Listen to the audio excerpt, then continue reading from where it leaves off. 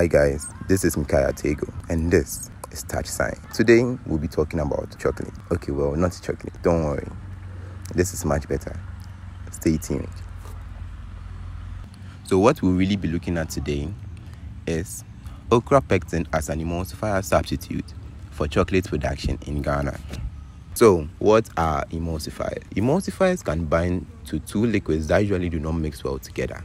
A traditional example is trying to mix oil and water. These fluids do not like to mix because of their chemical properties. This is where an emulsifier comes into play. An example of an emulsifier is lecithin. Foods that contain or use emulsifiers include baked goods like cake, bread, and your favorite dairy products including ice cream and chocolate. Now let us take a look at importation of lecithin in Ghana. The basic role of lecithin in chocolate production is to act as a surface active ingredient that influences the viscosity and maintains desirable flow properties of the chocolate product. Ghana, among other countries, relies heavily on the importation of lecithin. We import most of lecithin from India, and this adds to the cost of production.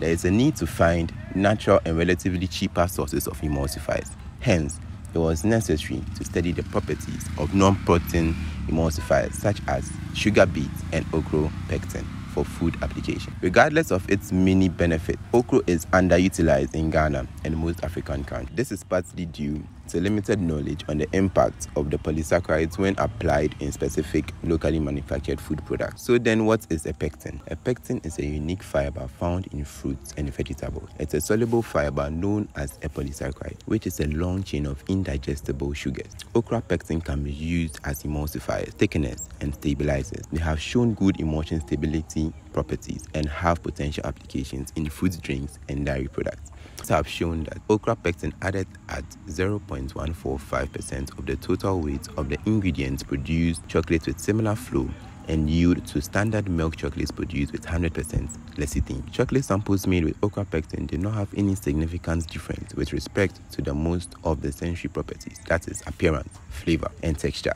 Texture properties, that is the hardness, adhesiveness, and chewiness, did not differ. Guys, this is why I would like to plead with the government to put in more funding into using okra, pectin as a substitute for lecithin.